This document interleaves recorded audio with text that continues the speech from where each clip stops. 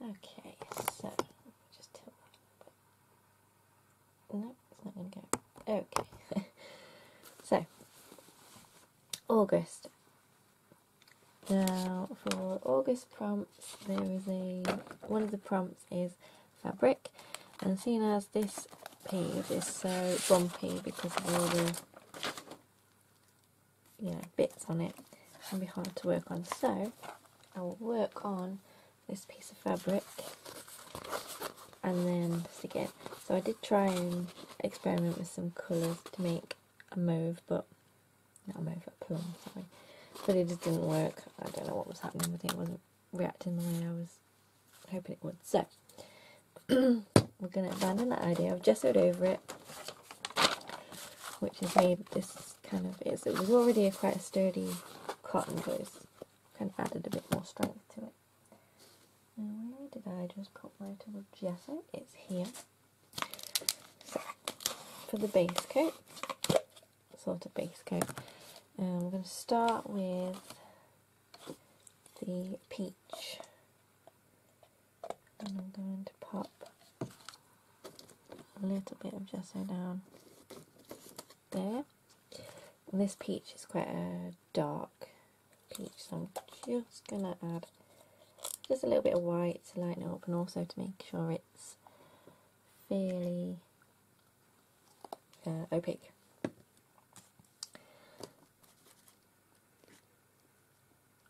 Just help cover a bit more of that up. Not really too fussed about it showing through, but there we go. Okay, so how am I going to apply the paint today? Should we use a sponge? Brayer. Could use a brayer. Uh,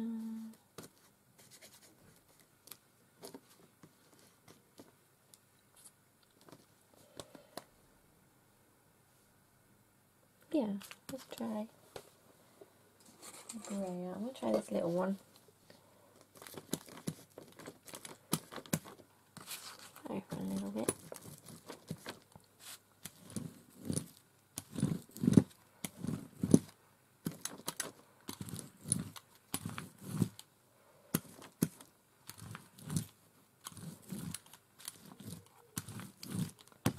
So I'm going to go up and down one way.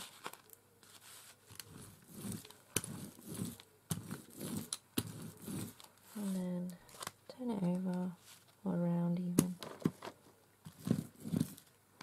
And go up and down this way. And I have used, I've kept the selvage on this fabric because I don't know if it's just me, but I do love the selvage of fabric. I don't know why. I just like the way it looks. okay.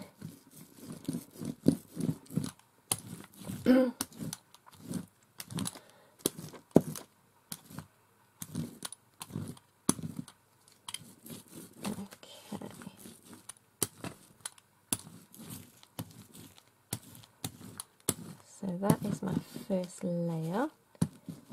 And then I'm going to let that dry and then go over with the sage.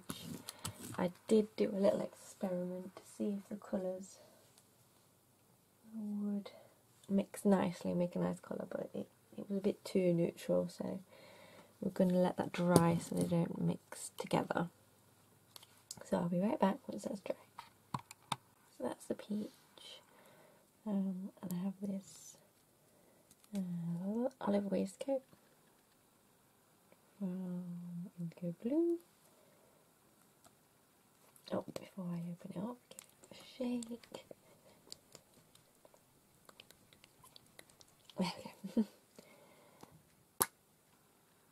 Okay, so it's not exactly sagey green, but it's the closest I've got, so drop some out.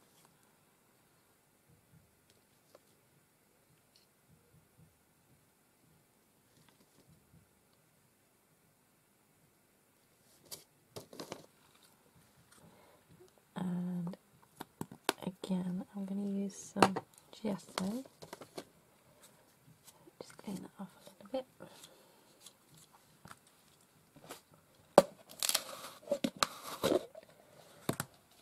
Gesso. I'll use quite a bit this time to try and get that a bit more of a sagey colour if I can.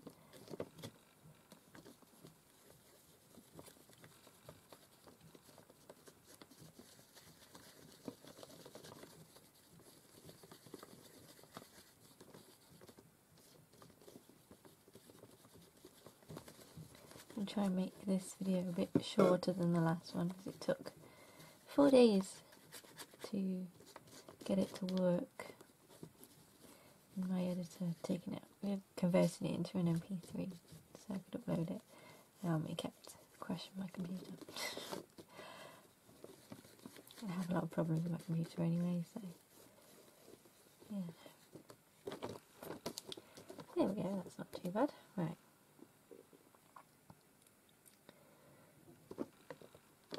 I'll get that off there.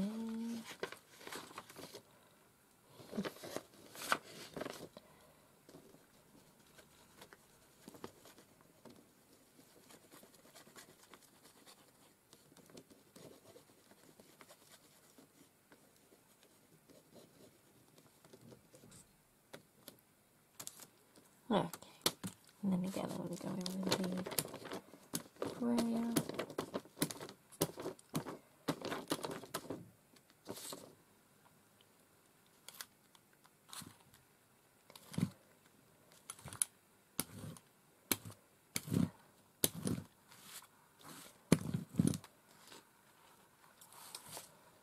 Um, something to put underneath. The surface is not very smooth, so it's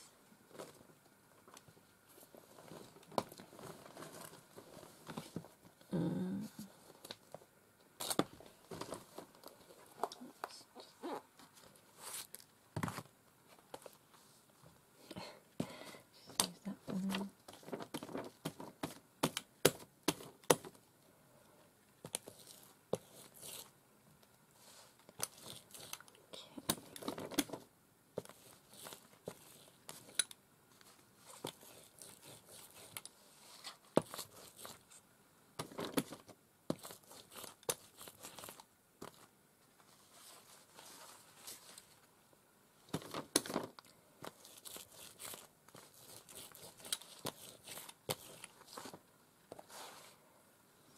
Okay. So again.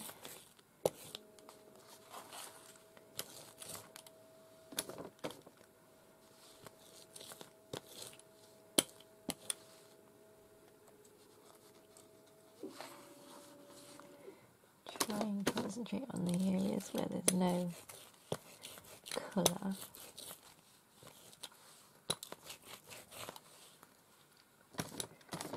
I'll leave the peach showing.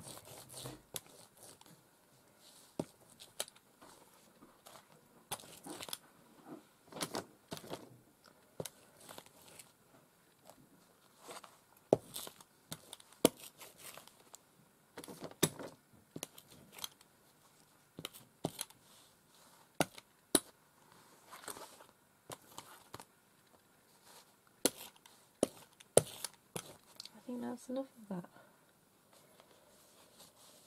Uh, maybe just a tiny bit in the corner there where we can see. Purple showing through. There we go. And I'm going to leave that to dry. And be back with the next step. Okay, so it's time to add the pattern and the plum.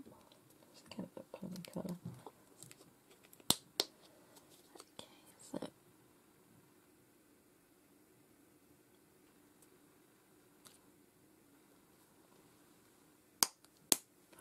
it's supposed to be purple, but it's more red to me. Now I'm going to use this stencil. It's a Mike Deacon stencil. and it's got a pattern on it.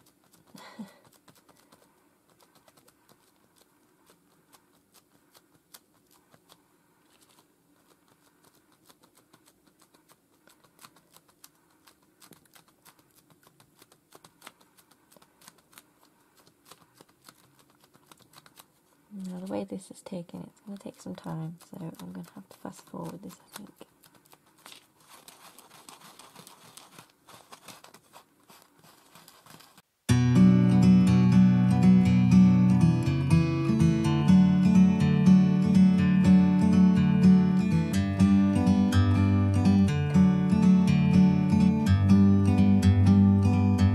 like a bird on a tree.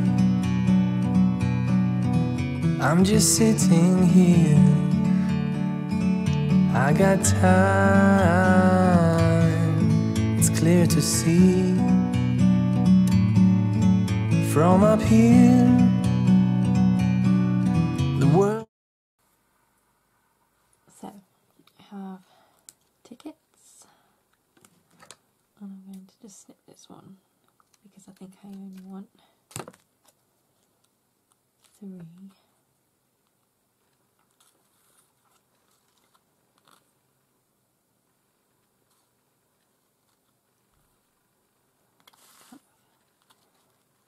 Oh, yeah, it's like that. Yeah. So I'm going to put my lettering on with some stamps. And again, this is going to be a lengthy process, so I shall fast forward and I'll see you at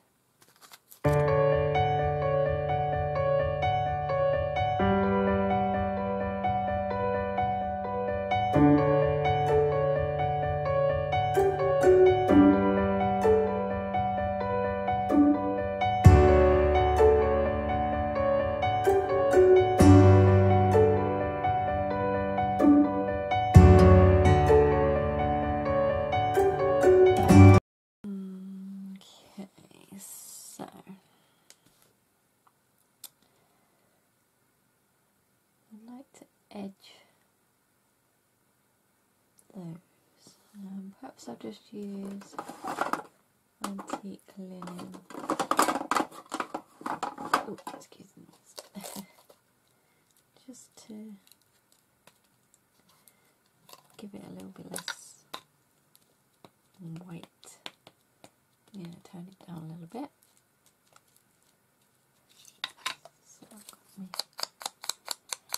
doodah.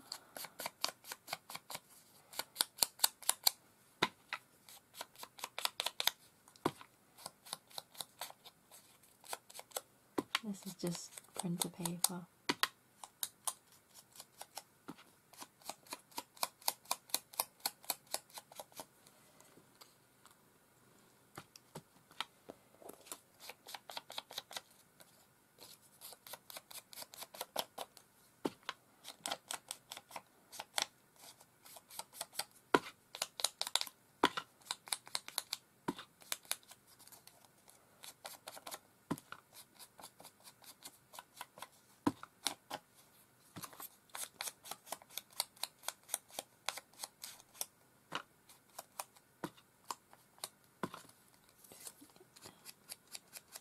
Middle.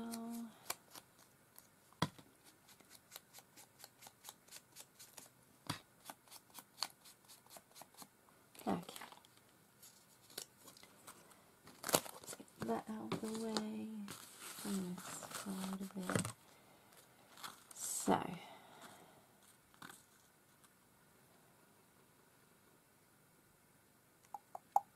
Not sure. So let's use the Elmer's. I think that will work quite well. It's like a clear PVA. So we'll glue our lettering and tickets down.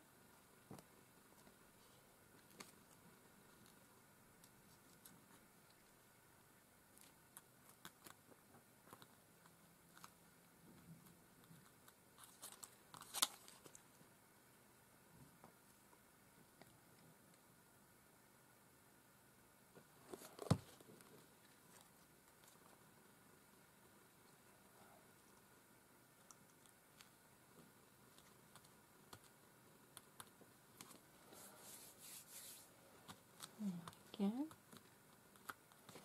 And now we need to do lines and border, which I am going to combine.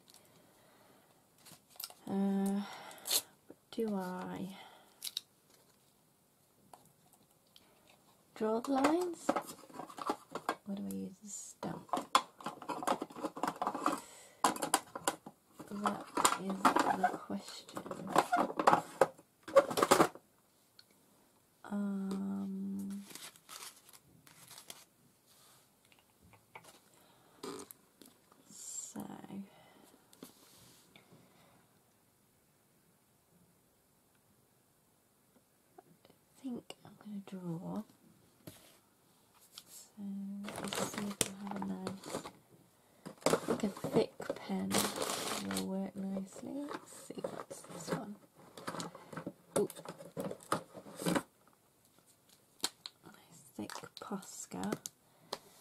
And let's use a rule.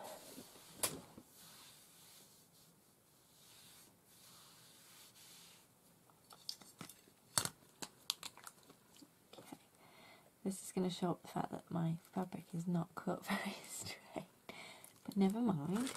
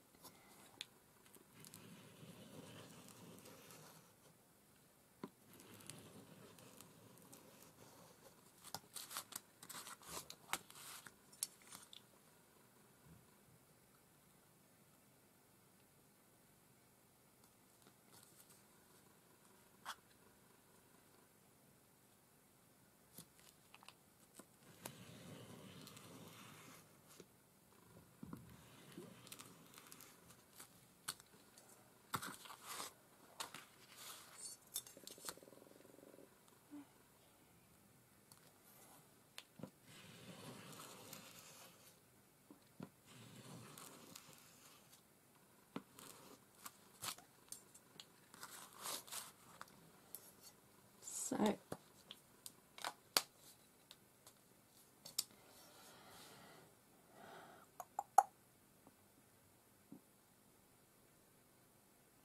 So we've got fabric, tickets, lettering, lines and border.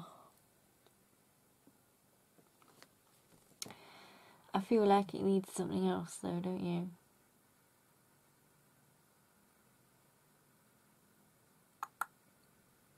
circle stamps, do we think?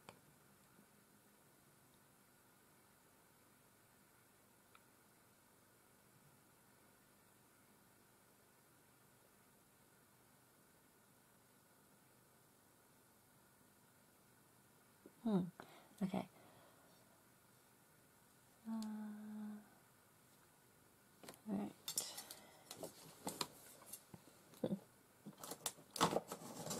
Let's grab a little circle with a fine one. Yes. This. Um, put those away in a minute. We don't want to seem fiddling with those. Let's grab black.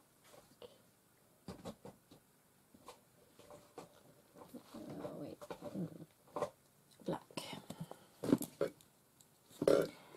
Dot of black out. Mm, yeah.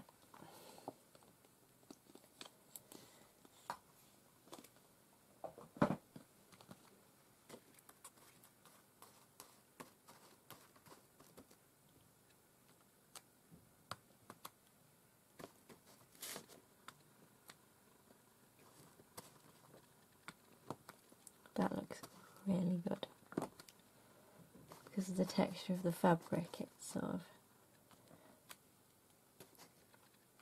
broken circles, which looks really nice, like kind of distressed almost.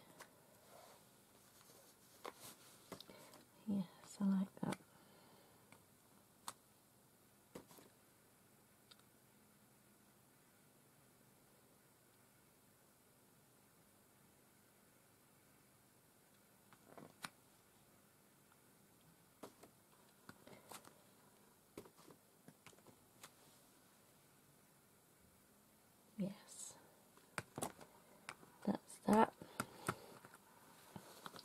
else does it need? Um, I think we need to outline the tickets.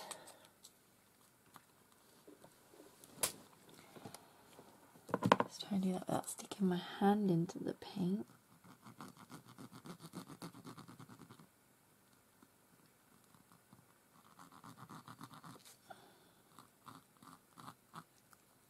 Just make those pop a little bit.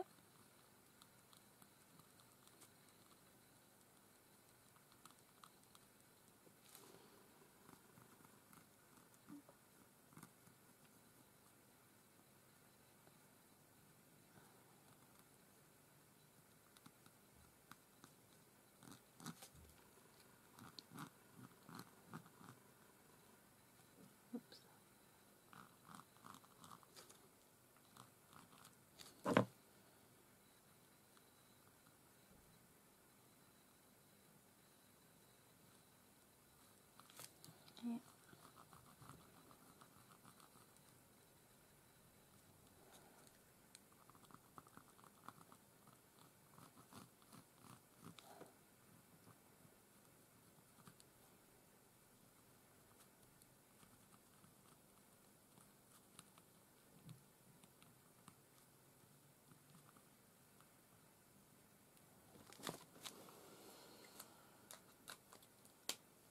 then I think finishing touch. Let's get some white.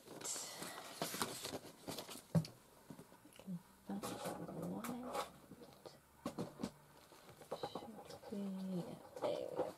Okay. Hmm. A little bit of white. A little bit of water.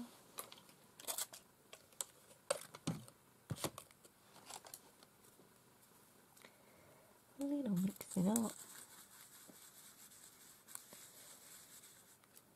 And splash it everywhere.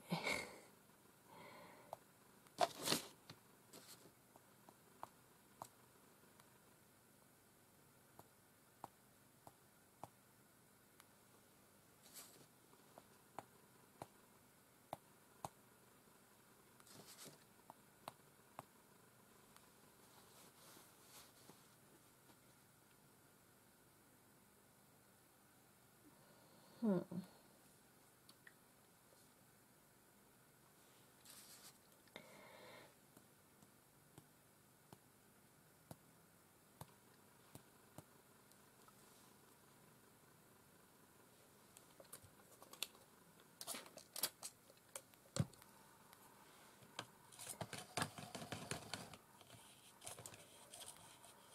Clean the minute.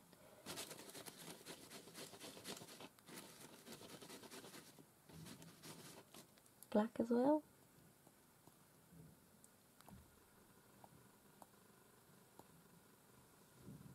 Just a little bit of black, we don't want to overdo it. Okay. Now.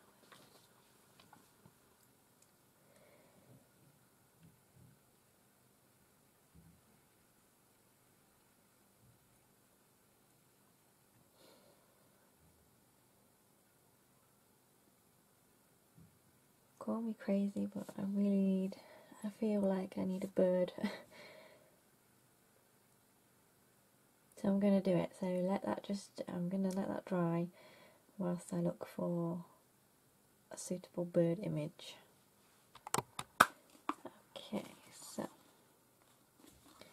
let's have just a little bit of my medium. It's probably too much, as always. Let's just knit that down there.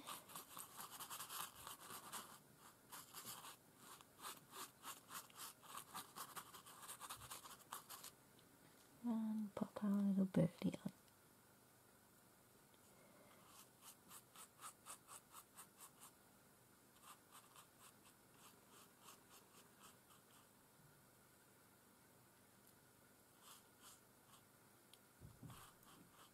Gently, gently, 这里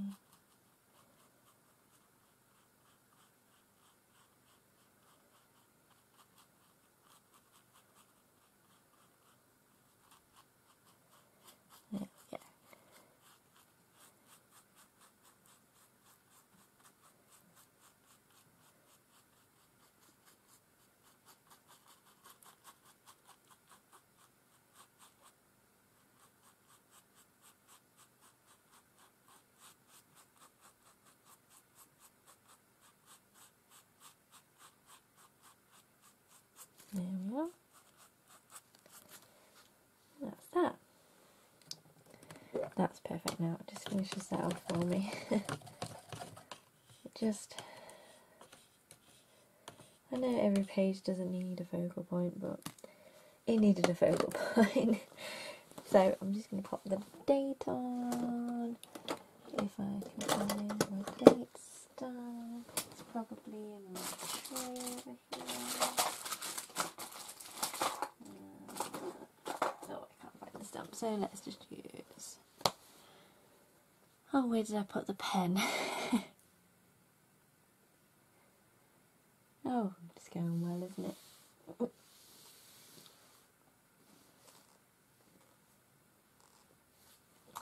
Oh, doesn't matter. You don't need to see me write the date on it. so that's August's page. Finally, I have finished a page in the right month. What's the date today? It's the 22nd. So, thank you very much for watching. I hope you enjoyed that. Please go over to Mike's um, page to um, play along. I will link it in the description below.